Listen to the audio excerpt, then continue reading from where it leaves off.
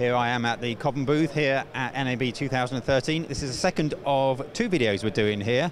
If you want to find the other one, just uh, look on the website below me. I'm sure you'll be able to track it down. I've got Max with me again. Hello, Max. Hello, how are you? I'm very good. Now we're going to talk about uh, this particular RF transmission, another one. Do you want to tell us a little bit about it? Yeah, sure. Um, it's basically our um, core HD transmitter um, product, uh, specifically designed for a camera back operation. So it comes with uh, either AB plates, Anton Bauer plates, or uh, IDX plates. Um, features uh, an HD encoder transmitter, uses COFDM DVB-T transmission.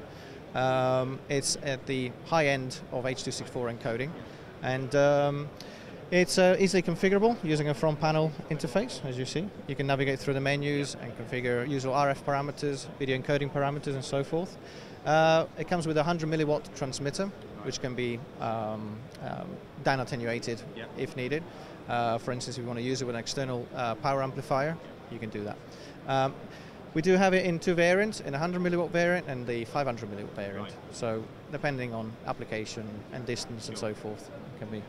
Um, we have a little, it's a little sister uh, kind of boxed product. Yeah. Uh, this is effectively exactly the same hardware that features inside the camera back unit right. in a smallest form factor for applications where uh, mounting arrangements are slightly different, yeah. obviously not a camera back. Yeah. Um, again, features the same kind of hardware, so HD encoding at its highest level, um, COFDM, DVB-T transmission, and 100 milliwatt of power.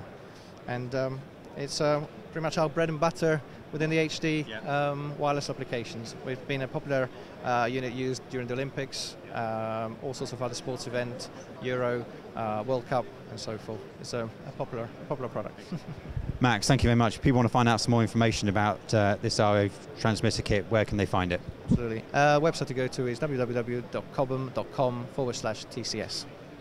Thank you very much, Max. Uh, go and have a look. We've used this specific transmitter ourselves uh, for the whole of BVE Live, and it never missed a beat. I have to say, it's fantastic. Find out more information, obviously, from their website. Link is below me. Everything that we've been doing here at NAB, you'll find at our website, which is broadcastshow.com.